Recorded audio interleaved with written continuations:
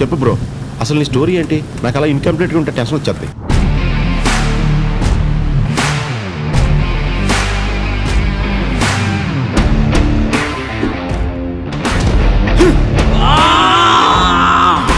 This is my project, Project Vayu. This is a hybrid engine combining electrical, air fuel, and aerodynamic drag mechanism. నిజంగా ఇదంతా పాసిబులా Difficult, but not impossible. అది work out కాదు sir అందుకే దాన్ని చూడు మీరు రిజల్ట్స్ మాత్రమే చూస్తారు వీడు ప్రయత్నాన్ని కూడా ప్రేమిస్తాడు. దిస్ చాప్ ఇస్ డిఫరెంట్ అవును మీ పక్కింట్లో ఇద్దరు అమ్మాయిలు ఉండేవారు కదా? నీకు తెగలైనేసేవారు ఎందుకు నువ్వు ఎవరిని పెళ్ళి చేసుకుందాం అనుకుంటున్నావు? ఉమాదేవినా vanilla what is god what is this uncle ఒక తప్పు జరిగింది. యాక్చువల్గా నేను ఇష్టపడింది మీ అమ్మాయిని.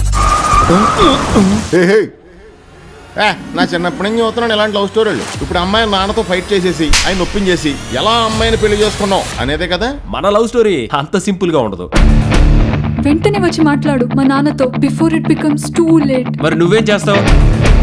నువ్వే వెళ్ళి మీ నాన్నని కన్విన్స్ చేయొచ్చు కదా అంతా మగాళ్ళని చేయాలా? మీ ఆడాళ్ళని చేయరా? మీకు ఇండివిజువాలిటీ లేదా? మీది సిన్సియర్లో కదా? చూడు నేనే డిడిఎల్జే షారూక్ ఖాన్ కాదు. నీకు షారూక్ ఖాన్ ఇష్టం అంటే బియో రోన్ షారూక్ ఖాన్. నేను అందరిలాంటి మామూలు సాదా సీదా అబ్బాయిని.